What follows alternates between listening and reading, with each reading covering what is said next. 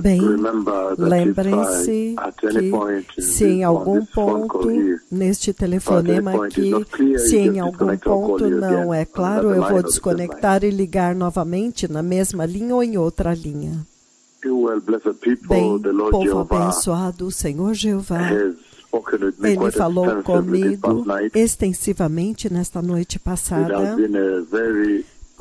Tem sido uma conversa muito, muito extensa nesta uh, noite passada pelo Senhor Todo-Poderoso. Uh, e nesta conversa, nesta noite passada, uh, parece Parece que a decisão já foi feita. Parece que o céu já decidiu que os servos do Senhor agora têm que se mover, eles têm que se mover e ir para atender outras nações com pressa. Eles têm que se mover com pressa. Parece que o céu decidiu que nós temos que nos mover. Parece que Deus Pai decidiu que ele agora tem que mover os seus profetas e movê-los agora, ah, agora, agora, para ir servir as outras nações também. A situação deve ser muito ruim lá fora, entendem? Uh, Mas a segunda e terceira conversa, que na verdade dominou esta uh, noite, é o Senhor deixou muito claro para mim que o céu agora decidiu que os seus servos devem se mover para o Brasil e começar a ajudar aquela nação e ajudar as nações da América Latina e todas até América Central, Estados Unidos e Canadá. Parece que a decisão já foi feita, baseado na conversa uh, ininterrupta que aconteceu nesta noite. A primeira conversa foi com pressa. O Senhor faz a conversa com pressa. É como se o mundo estava chegando ao fim. O mundo estava chegando ao fim. E então, tudo já estava empacotado. Eu já tinha empacotado todas as coisas. Todas as coisas estão empacotadas. É como o Senhor está me instruindo agora. Esta é a pressão que vem do alto. Eu havia empacotado tudo, tudo, literalmente todas as coisas, e eu agora estava me movendo para a próxima nação, para começar a me mover de nação em nação e ajudar de nação em nação, tudo totalmente empacotado e eu estava partindo, e foi um momento muito, muito triste. Havia pranto acontecendo na terra e o grupo dos cleros sênior correu aqui para sentar para ouvir agora de mim antes de eu partir para ir ajudar as outras nações. E eu disse para eles, eu estava dizendo para eles: Veja, o Senhor decidiu que eu tenho que ir agora para ajudar os outros países, porque o tempo acabou. Eu tenho que correr, porque o tempo é como se o mundo estivesse chegando ao fim. Eu sabia que o mundo estava chegando ao fim e vocês sabem o que isso significa. Vocês sabem a missão na qual nós estamos. Então eu havia empacotado tudo, literalmente tudo estava uh, empacotado. e agora eu estava prestes a partir. Então, muito claro, o arcebispo, todos, General Chaka, eu os vi correndo, eles correram aqui, foi muito muito triste. Havia pranto uh, acontecendo no país. Em toda a parte, as pessoas estavam pranteando e usando pano de saco e rolando no chão no pó. Então, enquanto eu estava falando, as pessoas estavam em pânico. General Chaka estava em pânico, Litunda, todos. Então, eu estava dizendo para eles, eu estava dizendo para eles que o segredo que eu guardei por todo este tempo para o Senhor a respeito da vinda do Messias, eu quero liberar para vocês agora enquanto eu parto. Eu quero liberar este segredo agora antes de partir. Então, então, todos eles vieram, havia muito clero, estava cheio aqui, eles estavam ouvindo, chorando e pranteando nesta noite passada. Então, eu tirei o lenço branco e coloquei sobre a mesa. Então eu disse: Eu quero dar este segredo agora, o segredo da vinda do Messias, que eu guardei por todo este tempo, a conversa que o glorioso Cordeiro de Deus teve comigo diante do trono de Deus. E então, recentemente, no dia 5 de fevereiro, teve comigo acima da terra aqui. Eu agora quero liberá-lo enquanto eu parto. E era: o mundo está chegando ao fim. Havia muito pranto e choro e lamento, as pessoas estavam rolando no chão, os bispos vieram, todos eles aqui, pranteando alto e chorando. Tudo estava empacotado completamente. Então, tudo, literalmente tudo. Uh, e o Senhor havia comandado que eu tenho que partir e ir ajudar as outras nações agora, porque o tempo acabou e as coisas estão muito ruins lá fora. O inimigo está fazendo ganhos inacreditáveis. Então foi um momento tal, eu não tinha visto isto, eu nunca tinha visto isto antes. Então, quando eu uh, acordei, e então, novamente, eu adormeci novamente.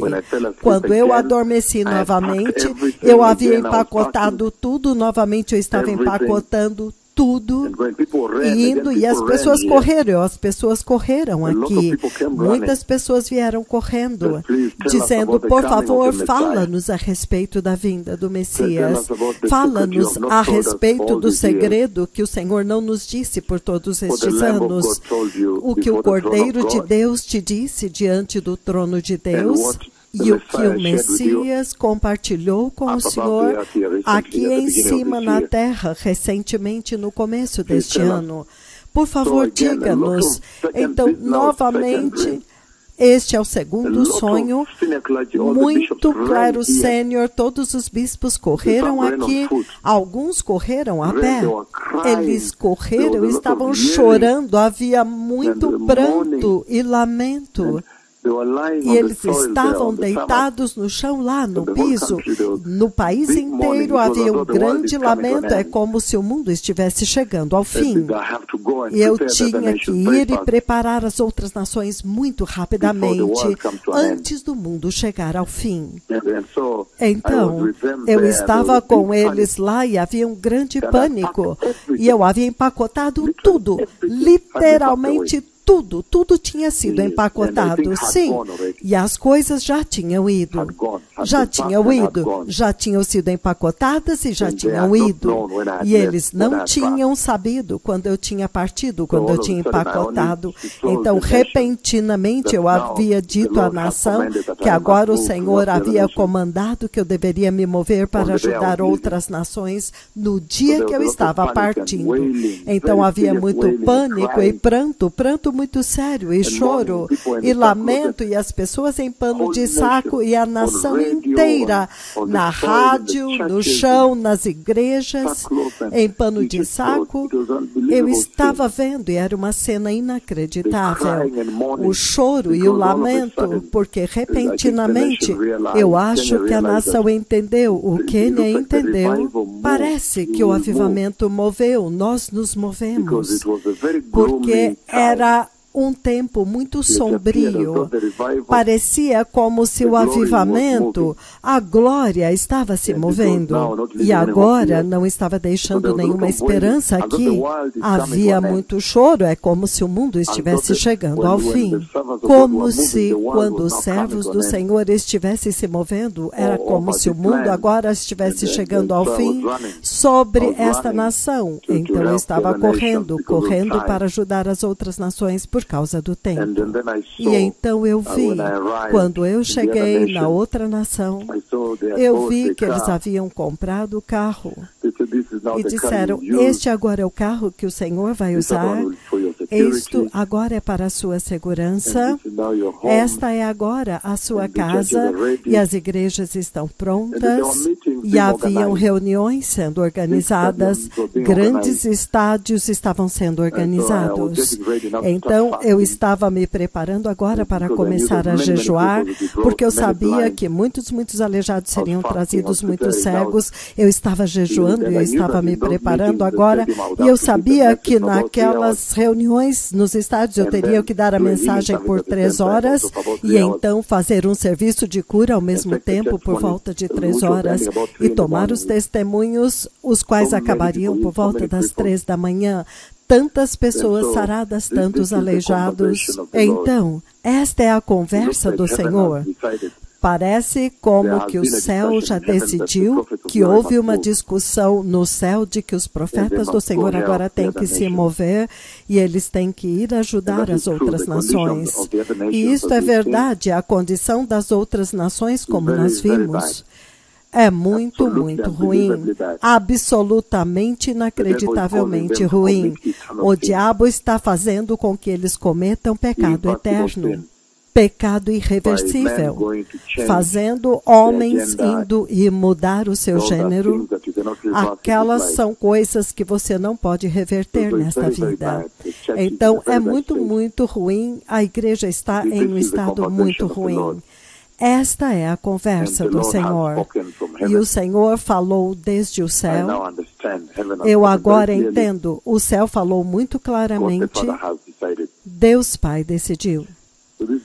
Então, uh, este é um tempo muito, muito chocante. Este é o momento para as nações, e eu acho que para o Quênia este deve ser um tempo de alegria também, porque não apenas uma única nação pode estar preparada, não de forma nenhuma. O Senhor nos enviou para preparar cada nação, cada nação, cada nação será preparada. Mas eu apenas fiquei pensando, por que que naquele sonho eu havia empacotado tudo, empacotei tudo, tudo.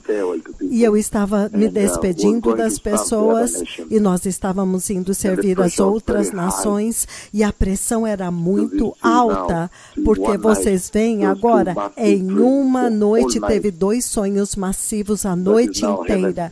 Isto é agora o céu falando, vocês têm que partir. Vocês têm que partir e ir servir outras nações.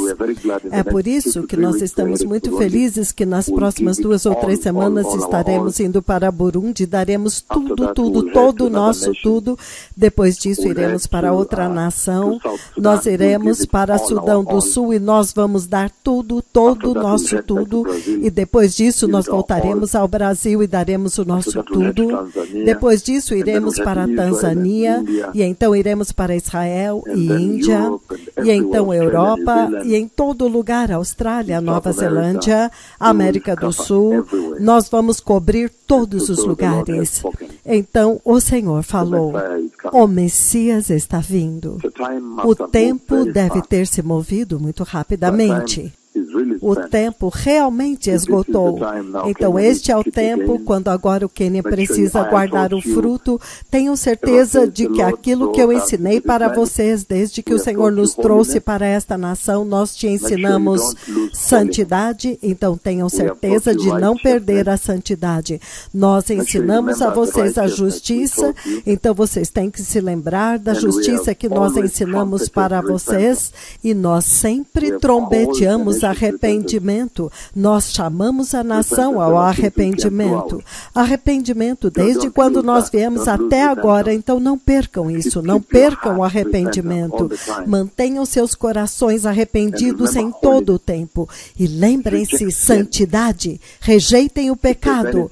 Se tem alguma coisa que nós ensinamos desde o princípio, é ter zero tolerância ao pecado. Absolutamente rejeitar rejeitar o pecado. E vocês podem viver santos.